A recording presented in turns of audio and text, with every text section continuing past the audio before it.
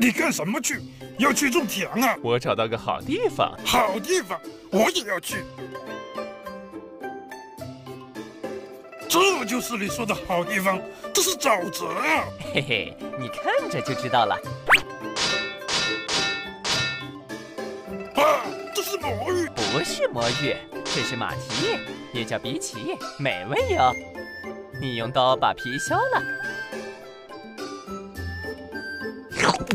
嗯，好甜，好脆，不错不错。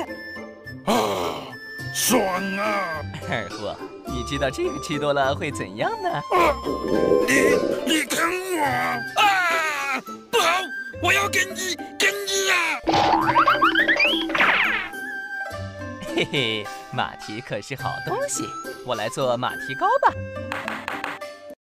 嘿嘿，马蹄可是好东西，我来做马蹄糕吧。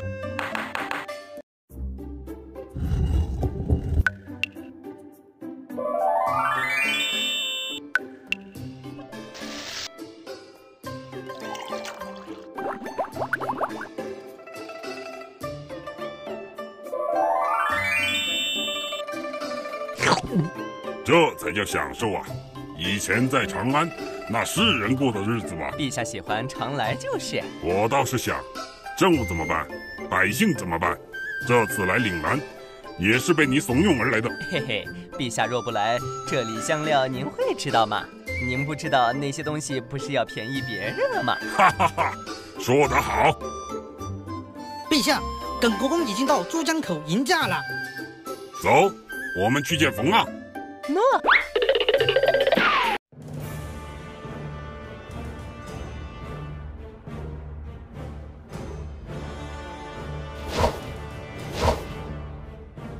慢，这些是什么？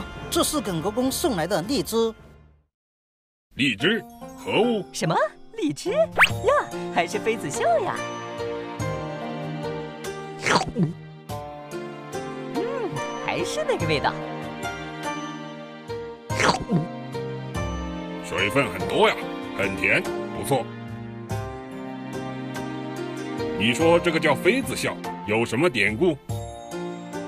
快说！就是有个皇帝，他有个美丽的妃子，这个妃子很喜欢吃荔枝，但是荔枝容易坏，产地离都城很远，荔枝很难运到都城，因此妃子不开心。皇帝为了让妃子高兴。动用八百里加急，跑死了数匹马，将荔枝运到了都城。妃子吃到了荔枝，露出倾城一笑，这荔枝因此被命名为妃子笑。这个皇帝真荒唐，这不是浪费民脂民膏吗？居然有这事，真是，真是，真是我辈楷模啊！啊！身为皇帝，连喜欢的女孩都无法满足，这皇帝不当也罢。陛陛下，那可是跑死了数匹马呀！你懂个屁！几匹马算什么？若这妃子爱吃荔枝，能让全国普及，受益的是果农，南方因此富裕，利远大于那几匹马。杜牧，我为你默哀三分钟。皇帝这种生物，不是您老能理解的。唐娜，你有办法为荔枝保鲜吧？有啊，酿成酒，做成干儿。酒，好，好，就酿酒。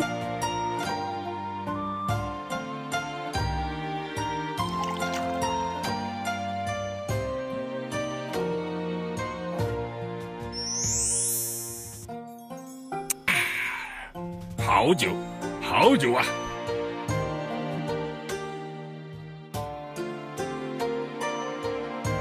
走，去岭南。